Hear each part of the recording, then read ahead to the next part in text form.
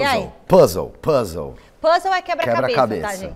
O Miller não gosta muito desse papo de gerir o grupo, não, não sei o quê, mas é o que o Abel diz. O segredo dele, o, o clube já estava estruturado, ele só é, trouxe, gere as trouxe pessoas. As suas ideias. Trouxe as ideias, encaixou as peças. Eu já discordo de você. Eu acho que essa questão é, de relacionamento. Claro que você pode ganhar também com um time totalmente rachado e os caras se matando em vestiário, como você já deve ter vivido isso mas que é bonito ver a simbiose que tem no Palmeiras, do Abel, o, o, jogador reserva torcendo pelo titular. Assim, eles estão realmente vivendo um conto de fadas, Miller. Não, o, o, ontem, para mim, Michele, o resultado não foi surpresa nenhuma, até porque o, o Palmeiras. Cadê o Voivoda? Voivoda? Não, não, o Voivoda é um, é um bom treinador, sim. Mas o Abel é mais treinador que ele e o Palmeiras é muito mais time que o Fortaleza, pô. Fortaleza está numa decadência de, nas, nas, últimas rodadas aí, de Campeonato Brasileiro e, e Copa do Brasil, Libertadores, etc., Sul-Americano, que seja. Então acho que é, o, o, Palmeiras ontem fez três, poderia ter feito quatro, cinco, porque sobrou de novo em campo. E um detalhe que eu sempre falo, Michele, desde janeiro o Abel coloca o time titular é. para jogar. Acho que duas partidas só. O Chafique me falou isso aí, é verdade. Duas partidas que ele mesclou. Duas, Os caras jogam de olho fechado, né? Então, de, duas, é. de, de, tantas partidas de, de cinco meses até agora, duas partidas ele mesclou. Os titulares jogam sempre, ninguém machuca. Ele gerencia o... durante o jogo. Ele resolve logo e vai tirando. O prepara... vai descansando. O preparador é... físico do Abel é o cara. É o cara, né? E tem mais, ó. O não, Palmeiras. Mas, o fala, Palmeiras, diretor. Fala, é, fala em voz alta fala, que você fala, falou pra mim. Que eu ia também você comentar. A gente tá na energia. Vai. E são só dois reforços. Só dois reforços. Esse é Richard Rios, Rios e o Arthur. Que faz gol Ou seja, a gestão da diretoria do Palmeiras é também excelente, não fica contratando a baciada. Pô, é, não é, você tá com inveja, Chico Ô, Chico Lang tá assim. Que, que? Ah, fala besteira, cara. o Corinthians, Ó, eles estão tá eles estão botando lá. os moleques para jogar, estão criando jogadores lá e vem buscar o reforço pontual. Mas é que... Esse Richard Rios joga Mas é o... muita bola. Michele, esse... O Arthur já conhece, bom jogador. Ó, ó, ó, que, que esse é o detalhe. Esse é o detalhe. Ele está colocando a garotada no momento certo com o time correto. Isso. Diferente do Corinthians, que tem que colocar a garotada pra boa salvar, né? Pra salvar é. no momento errado. Teve polêmica, polêmica, hora da pisca aí embaixo, polêmica. É, tem esse detalhe também, porque o polêmica. Palmeiras jogou Qual bem, polêmica? tudo bem, mas tem, tem esse detalhe polêmica. aí que mudou tá, o início do jogo, Quem tá na academia Nós de futebol descobrir. hoje é a Marina Buffon. Boa noite, Mar. O pênalti marcado no Rony rendeu muita polêmica. O pessoal do Fortaleza ficou na bronca, né?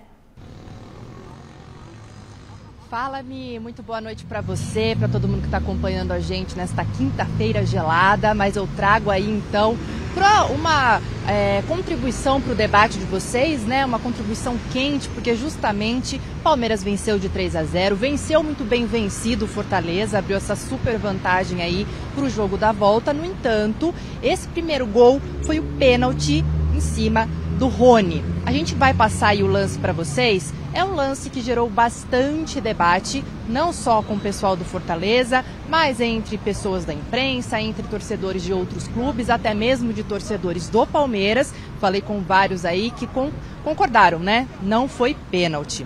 E aí, para dar aquela pimentinha na discussão de vocês, nós separamos duas sonoras, né? Dois momentos aí. Vocês devem se lembrar que no sábado passado o Palmeiras empatou em 1 a 1 com o Red Bull Bragantino no Allianz Parque. Teve também uma polêmica, uma questão ali em cima do Hendrick, né? O goleiro do Massa Bruta foi em cima do Hendrick, muitos falando que foi pênalti, outros falando que não.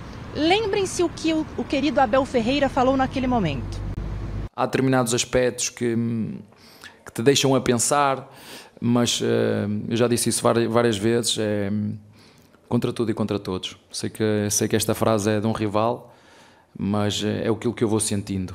Aquilo que eu vou sentindo, jogo após jogo. Um, e se tiver que ser contra tudo e contra todos, vai ser contra tudo e contra todos.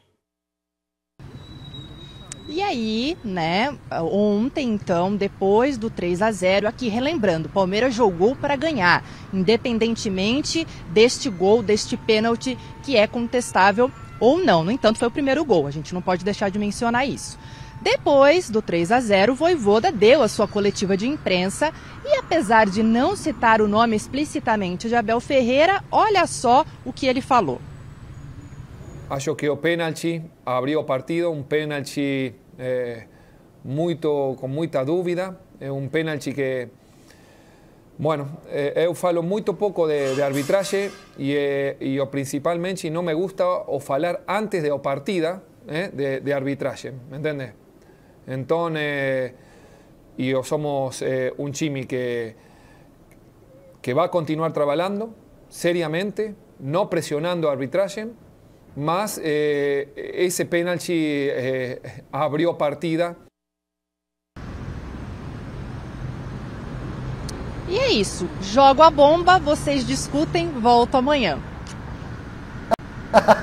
Beijo, Má, gostei. Joga a bomba!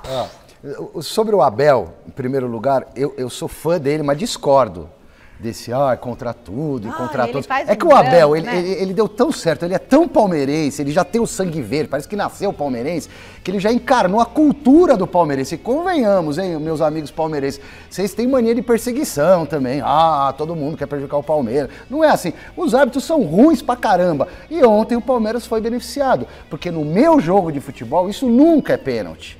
Aquilo que aconteceu no Majestoso nunca seria a falta do Caleri, nem o novo, nem o pênalti do Rafinha. Isso aí, gente, o Rony é mais rápido, toma a frente do zagueiro, até usando um pouco o braço ali, usando um pouco o corpo, o zagueiro nem sabe que tá tentando tirar a bola, o Rony aparece por trás. Gente, pênalti é penalidade máxima. O que, que é penalidade máxima, filosoficamente faz- falando? Pode haver um pênalti sem querer, bobo pode, mas na essência é quando o zagueiro foi na troca bola, um, um- um gol que vai acontecer É. pela cobrança da marca fatal. Qualquer re- re- reladinha é pênalti, Miller. Peraí, eu vou deixar o Miller falar. eu não já- deixei o espaço pro Miller, desculpa, foi fala, fominha, depois eu dou Miller. recado. Fala, Não, Miller. continua, continua.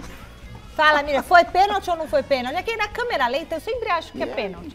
Mas assim, foi, foi, foi pegando a bola. Penalidade máxima!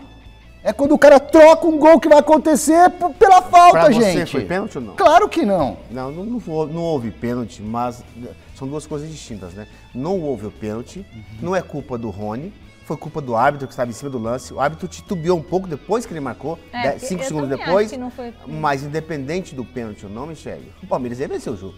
Nem ia, agora É, 2 com a 0. certeza. Dois, não, dois, três, quatro ia vencer, porque o Palmeiras estava numa dinâmica muito legal. Mas agora, como o Silvestre falou, qualquer coisa que encosta aqui é. Desculpa, eu fico alterado, cara. Minha pressão sobe. Eu não tô mais aguentando. Eu não tô mais aguentando. Estão estragando o futebol.